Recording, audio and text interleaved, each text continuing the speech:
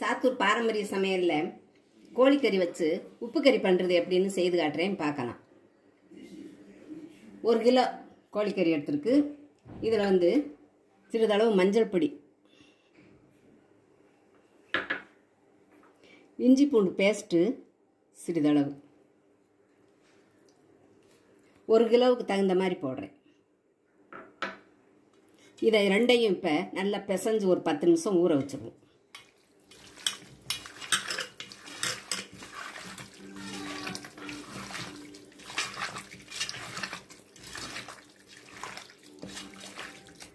சிறிதளவு சால்ட் போட்டுக்குவோம்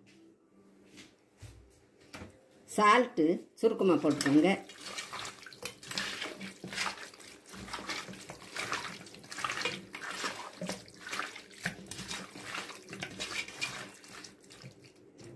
போதும். பத்து நிமிஷம் ஊறட்டும். பாருங்க ஊற வச்சு பத்து நிமிஷம் ஆச்சு. இப்போ வந்து கடலெண்ணெய் விடுறேன். செக்கெண்ணெய் தான் விடுறேன்.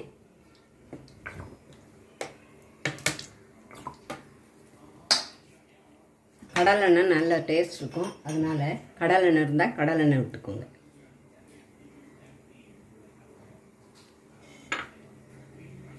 எண்ணெய் சூடாகட்டும். எண்ணெய் சூடாயிடுச்சு சின்ன வெங்காயம் நூறு கிராம். நல்லா கட் பண்ணி போட்டுக்கோங்க. அடுத்து மோர் மோர் மிளகாய். இது வந்து டேஸ்ட் அதிகமாக இருக்கும். அதனால் மோர் மிளகா போட்டு செய்து பாருங்க. மோர் மிளகா போட்டு செய்வோம் ஏற்கனவே மோரில் ஊற போட்டது உப்பு போட்டு மோர் மிளகா ஊற வச்சது. அதனால உப்பு அதிகமாக இருக்கும். நீங்கள் உப்பு பார்த்து போட்டுக்கிறணும். சிக்கனில் முதல் பிசையும் போது உப்பு சுருக்கமாக போட்டுக்கோங்க.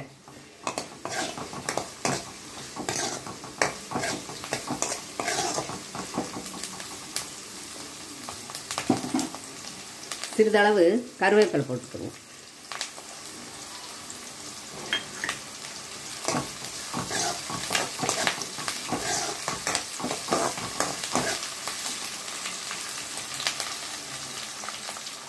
நம்ம ஏற்கனவே வத்தல் போட்டு தான் செய்வோம். வத்தலுக்கு பதிலாக மோர் மிளகா வத்தல் போட்டு செய்யுங்க. ரொம்ப சூப்பராக இருக்கும் அருமையாக இருக்கும். மோர் மிளகா போட்டு செய்தோம்னா. அடுத்து ஊற வச்ச சிக்கனை போட்டுருங்க machine.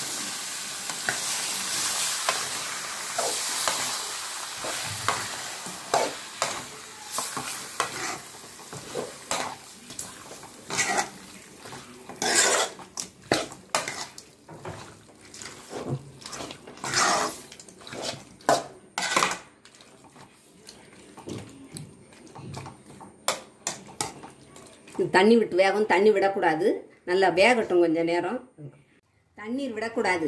அது தண்ணீர் விட்டு வேகும். நம்ம வந்து இப்போ வந்து ஒரு மூடியை போட்டு அஞ்சு நிமிஷம் மூடி வச்சுருவோம்.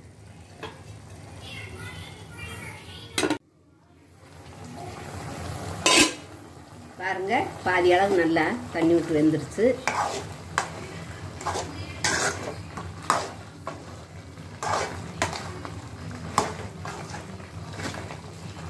இந்த டயத்தில் நம்ம ரெண்டு ஸ்பூனு மிளகு. நல்லா பொடி பண்ணி வச்சுக்கோங்க. ரெண்டு ஸ்பூனு ஜீரகம். அதையும் நல்லா பவுடர் பண்ணி போட்டுருங்க.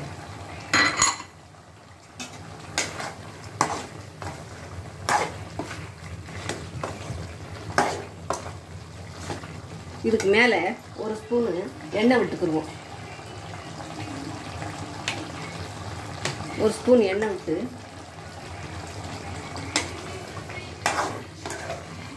பாதி அளவு நல்லா வெந்துருச்சு பாருங்க. இந்த மோர் மிளகாய் போட்டதெல்லாம் ஒரு ஸ்மால் பிக்ஸ் தான் உங்களுக்கு. இன்னும் கொஞ்சம் நேரம் மூடி போட்டு வேக வச்சுக்கணும்